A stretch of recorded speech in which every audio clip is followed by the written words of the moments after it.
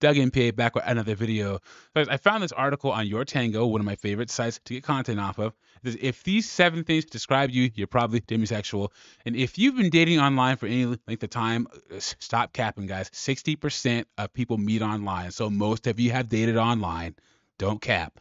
You've seen this term on women's profiles, along with pansexual and other terms that a lot of us guys don't understand.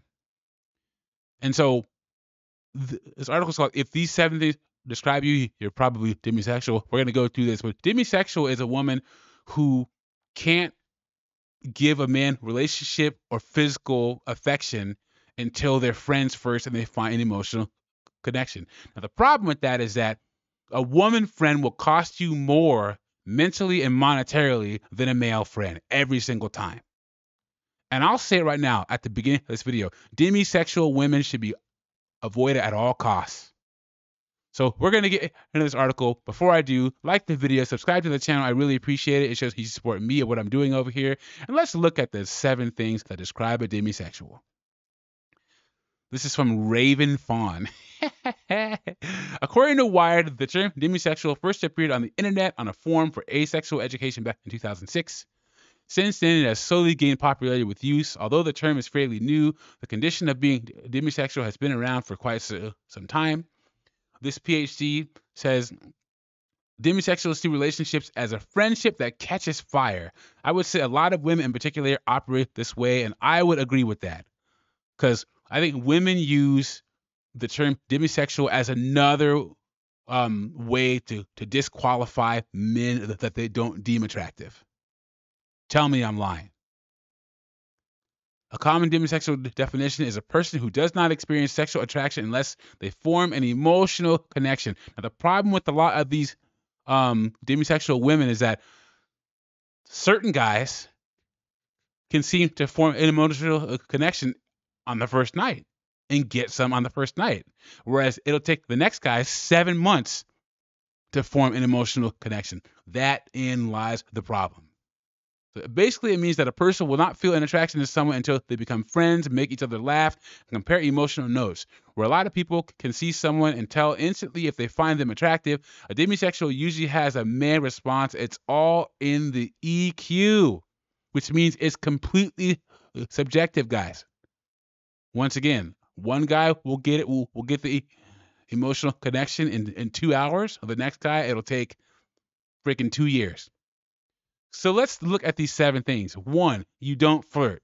Also, you don't really know how to flirt. When you're being kind or generous, that is just who you are. You're not doing it because you want someone to like you. You may laugh at their jokes and hold eye contact, but that is a sign that friendship and emotional connections are being made.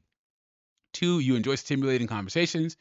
Even if they're about the most random, silliest things, a conversation that is enthralling is one that gives you a natural high.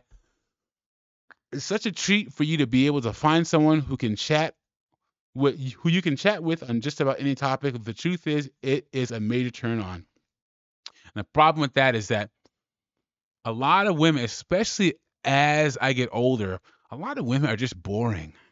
And the stuff they talk about is boring. And women talk, it's like women talk about their problems just to talk about them and not to go towards solutions, whereas men, we like to talk about meaningful stuff. You are drawn to authentic personalities and not looks. Some people are attracted to certain body types, heights, and eye colors.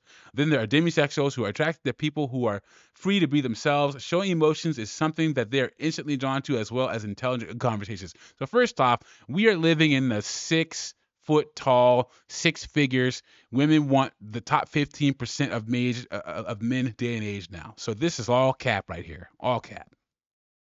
They're looking for the authentic personality with the guys that, have the qualifiers first.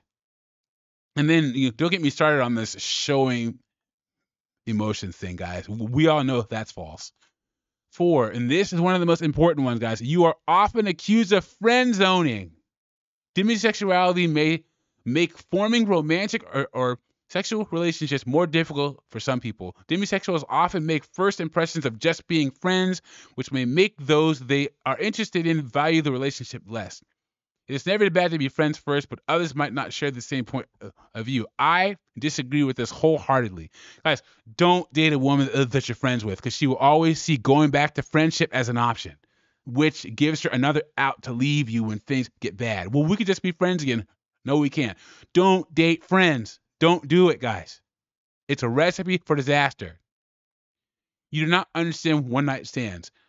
How can anyone have a physical connection to someone without first making contact with their mind and their heart? To you, that makes absolutely no sense. Once again, all women have that man that they'll give it up to uh, on the first night. And these demisexuals seem to, to justify, oh, I just had a sudden emotional connection with this guy after two hours of meeting this guy. It's a cope and a cop out. This PhD says Demisexuals can and do enjoy sex, but only with people they form an emotional attraction to beforehand.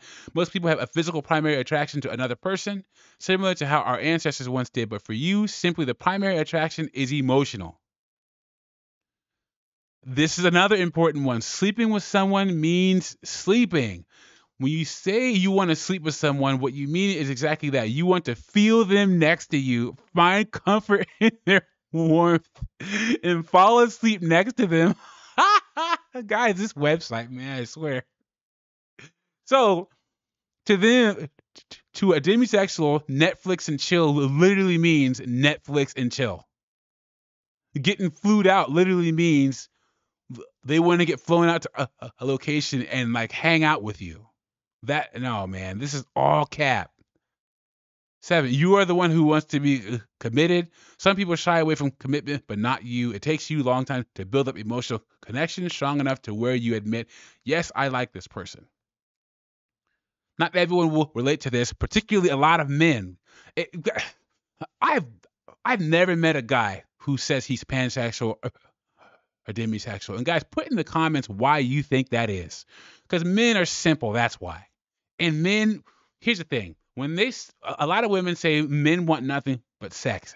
I would say that's true, and I would also add to that a man will not get to know a woman in a, in a relationship way until he's had sex with her first, and that's why we want to have sex with you ladies.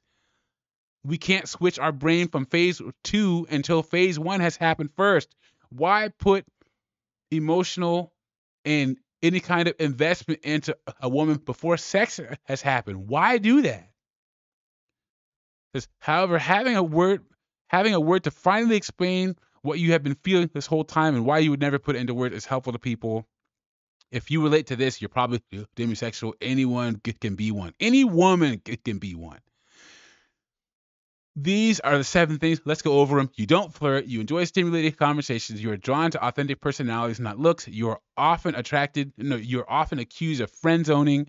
You do not understand one night stands.